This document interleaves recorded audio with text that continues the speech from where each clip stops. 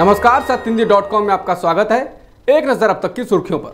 BJP संसदीय दल का नेता चुने जाने के बाद एनडीए संसदीय दल का नेता चुने गए नरेंद्र मोदी। शिरोमणि अकाली दल के नेता प्रकाश सिंह बादल ने रखा मोदी के नाम का प्रस्ताव, जिसका नीतीश कुमार, रामविलास पासवान और बाकी पार्टियों के नेताओं ने किया समर्थन। मोदी के एनडीए के नेता चुने जाने के बाद बोले अमित शाह, कहा, देश की गरीब से गरीब जनता ने भी नरेंद्र मोदी के नेतृत्व में अपना भरोसा जताया है। उन्होंने कहा कि हमको 17 राज्यों में 50 फ़ीसदी से ज़्यादा वोट मिले हैं, जिसका मतलब है कि हमको देश के हर कोने से आशीर्वाद मिला है।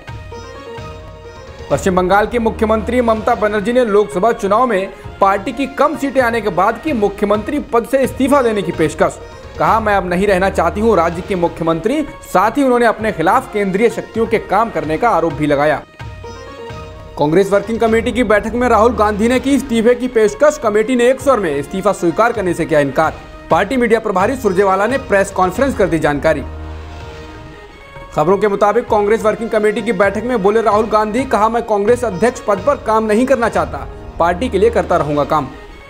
उड़ीसा के वर्तमान मुख्यमंत्री नवीन पटनायक एक बार फिर लेंगे मुख्यमंत्री पद की शपथ। विधानसभा में बीजू जनता दल ने एक में से हासिल की थी 112 सीटें। 29 मई को शपथ लेकर लगातार पांचवी बार बनाएँगे सरकार।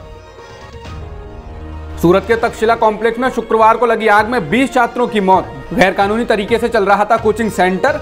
खबर के मुताबिक आग उस फ्लोर पर लगी है जो अवैध रूप से बनाया गया था। इस पूरे मामले में अब तक तीन लोगों के खिलाफ एफआईआर दर्ज हो चुकी है। कल प्रधानमंत्री मोदी गुजरात जाकर माँ हीराबेन का आशीर्वाद लेंगे। तो इसके अगले दिन वाराणसी जाकर जनता को जीत के लिए शुक्रिया भी कहेंगे। वाराणसी से मोदी साढ़े चार लाख से भी ज़्यादा वोटों से जीते हैं।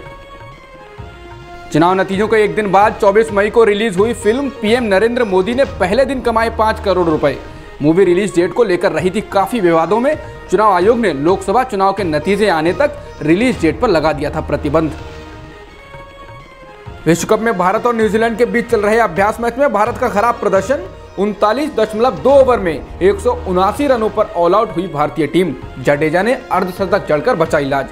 भारत ने टॉस जीतकर पहले बल्लेबाजी करने का किया था फैसला। विश्व कप के अभ्यास मैच में आज दक्षिण अफ्रीका ने श्रीलंका को दी सतासी रनों से करा दी शिकस्त। टॉस हारकर पहले बल्लेबाजी करने उतरी अफ्रीका की टीम ने श्रीलंका को दिया तीन सौ अड़तीस रनों का टारगेट जिसका पीछा करते हुए श्रीलंका बना पाई केवल दो सौ इक्यावन रन। विश्व कप के अभ्यास मैच में देखने को मिला अलग नज़ारा। मेजबान इंग्लैंड और ऑस्ट्रेलिया के बीच खेले जा रहे मैच में फील्डिंग करते दिखे पूर्व इंग्लैंड के दिग्गज बल्लेबाज पॉल कॉलिंगवुड। दरअसल इंग्लैंड के तेज गेंदबाज मार्क वुड के बीच मैच में चोटिल हो जाने के बाद सब्सटीट्यूट के तौर पर फील्डिंग करने आए थे पूर्व कप्तान पॉल कॉलिंगवुड। अब तक की खबरों में बस इतना ही। बाकी की खबरों के लिए बने रहिए सत्यंदी के साथ।